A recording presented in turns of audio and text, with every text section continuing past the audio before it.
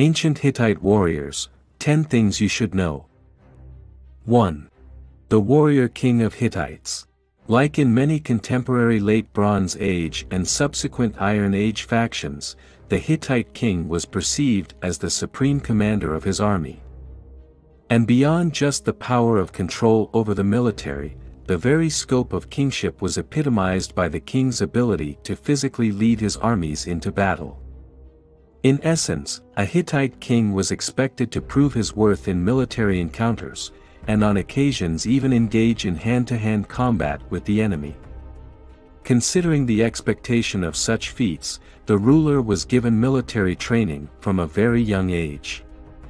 There are also accounts of how the crown princes were given actual command of battalions in their teenage years, with one particular example pertaining to future King Tudhaliya IV, reigned from 1237 to 1209 BC, who commanded the army at the age of 14. Now of course, beyond expectations, there was also practicality to consider, and to that end, an unfortunate king meeting his chance death on the battlefield would have caused political upheavals all throughout the kingdom. So while the Hittite king did take part in actual battles, it can be presumed that he conducted his authoritative affairs from safe vantage points. And on rare occasions when he did have to actively participate in the fighting, he was supported, and protected, by crack troops who formed the bodyguard units of the royal family. 2. The Hierarchy of Command.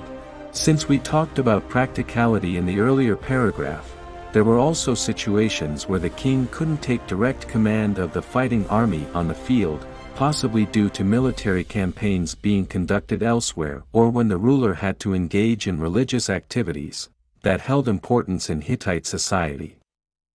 During these times, the command of the army was taken up by a member of the royal family, usually the brother of the king. In fact, many of the prestigious posts of the Hittite army, including command of its bodyguard corps and chariot battalions, were held by the brothers and immediate cousins of the ruler, thus leading to a tightly controlled core military force.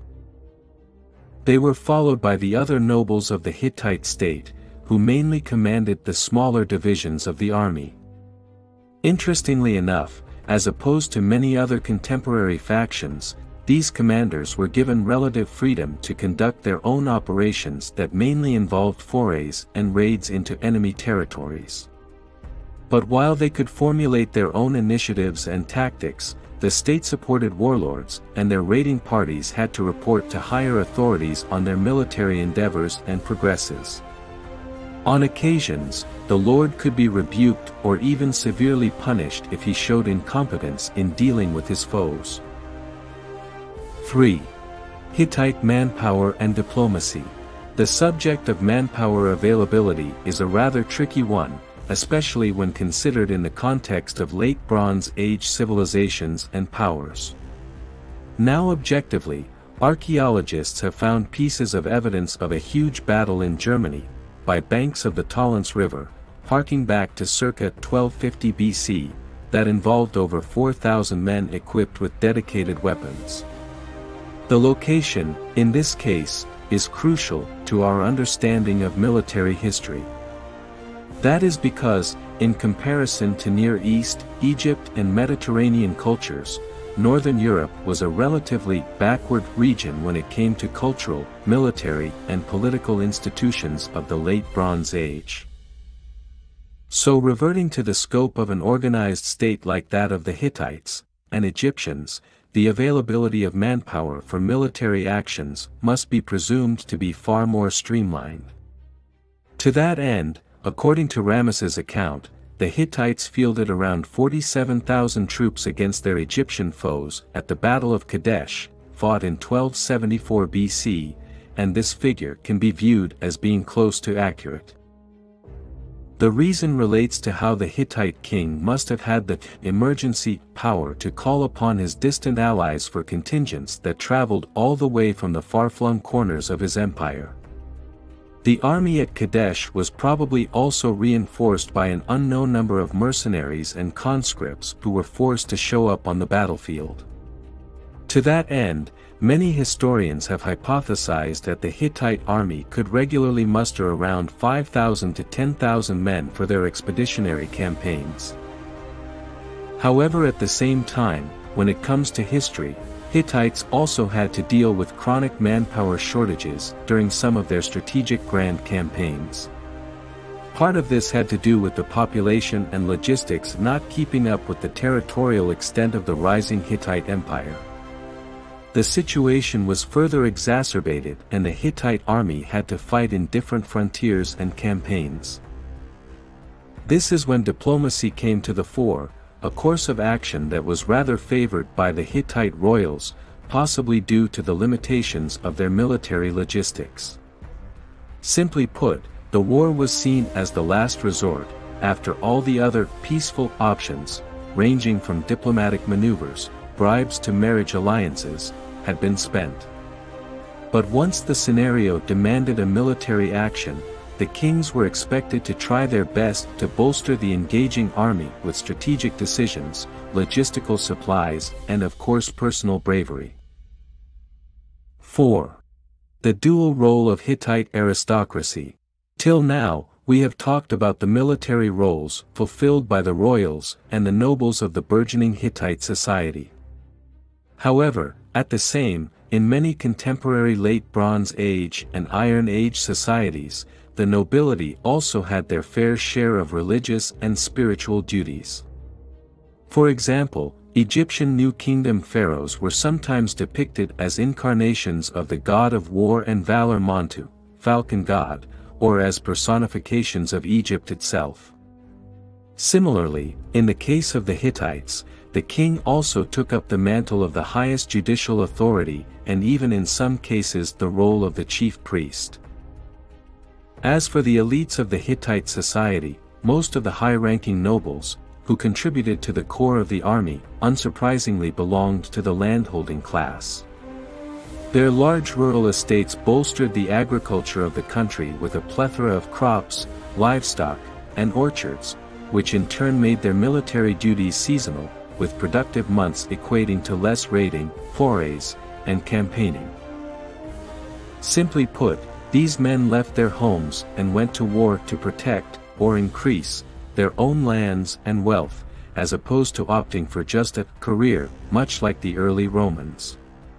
To that end, the allure of plunder and booty, in the form of both prisoners of war and livestock, was reason enough for many of the aristocratic families, especially settled on the frontiers, to try their hand at providing military aid to their king. 5. The Professional Defense Force. We fleetingly mentioned the lower-ranking officers and the soldiers of the army who roughly corresponded to the third strata of the Hittite military. Now as opposed to the higher-level commanders, governors, and warlords, these men actually did make a career out of their military inclinations. In essence, these men were employed almost full-time as soldiers who could be called at a moment's notice during any time of the year to fight for their overlord and the kingdom. In many ways, they formed the core of a defense force that was ready for mobilization at the king's command. Interestingly enough, most of these men were housed in provincial barracks and were provided with rations all throughout the year. And while a significant percentage of these soldiers volunteered to join the military career, with its fair share of dangers, many were conscripted into their ranks based on the quota requirements of the Hittite-governed province. The responsibility of selecting such troops fell upon the governors, who were directed to only pick free men and not slaves.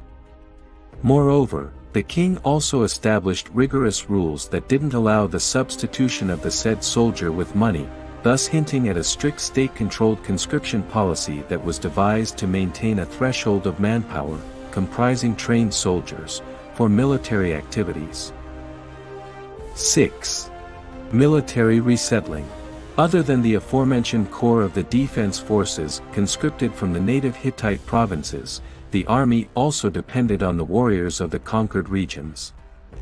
In that regard, the state followed the policy of mass resettling of the adults from the fringe conquered areas to the home provinces around the fortress of Hattusa, the capital of the Hatti. Suffice it to say, some of these subjects were taken as slaves and distributed among the royal family and the landowning aristocracy, some were forced into labor or temple duties, while the remaining hardy ones were pressed into the army. On occasions, entire families were uprooted and resettled in population-dilapidated frontier regions that were afflicted by constant wars.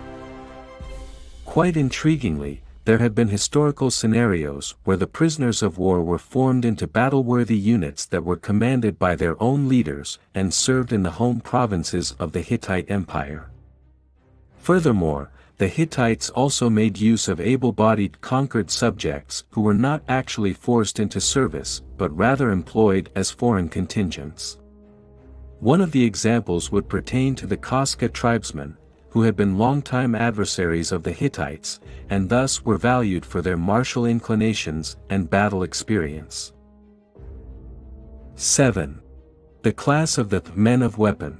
Finally, beyond nobles, native soldiers and foreign warriors, the Hittite army was also bolstered by a separate class of men, and they functioned as the reservists. Known as the logistical or men of weapon, these militia-type troops functioned in a similar manner to the Anglo-Saxon FYRD. Essentially, they were armed with better weapons than the rabble of the civilian conscripts and could be called upon during campaign seasons. However, during most parts of the year, they were engaged in agricultural activities. And while regular soldiers were directly paid by the state, often in form of rations and housing, these reservists were paid in small lands, that could be cultivated by their family members for sustenance.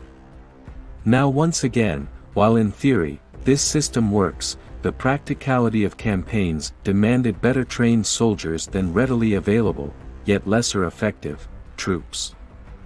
So over time, the policy of endowing lands was relegated in favor of retaining services of these men through other forms of administrative employment. Simply put, the men of weapon evolved into an administration supporting economic class of free men that lost its military purpose by the later years of the Hittite Empire. 8. Likeness and misconception on iron. Archaeological pieces of evidence of armor combined with visual representations, including carvings and depictions, of Hittite warriors found at Hattusa have more or less established that the ordinary soldiers of the army probably wore light attires during long marching and campaigns. This rather presents the practical side of affairs, since heavy armor could seriously hamper the stamina of the marching men, especially in the hot, arid climates afflicting the semi-desert regions of Anatolia, Syria, and the Levant. But that is not to say that the soldiers didn't wear any form of armor. Some of the higher-ranking troops probably did don their scale armor during battles, that was worn along with leather jackets and belted kilts, items that were pretty ubiquitous in the Hittite army. The protective gear for most soldiers also included the leather-made helmet with plume, neck and cheek guards, along with the basic rectangular shield, comprising leather stretched over a wooden frame. As for offensive equipment, the Hittites mainly made use of swords of the short, stabbing variety, though there is also evidence of long swords of slashing variety from Hattusa, mostly in compact areas, like in mountainous terrains and forested regions. Infantrymen were additionally trained in using spears for both melee combat and throwing, especially when the battlefield tended to be open, like in plains. In any case, there is a common misconception that the Hittites regularly used iron-furnished weapons that provided them with an edge over their enemies.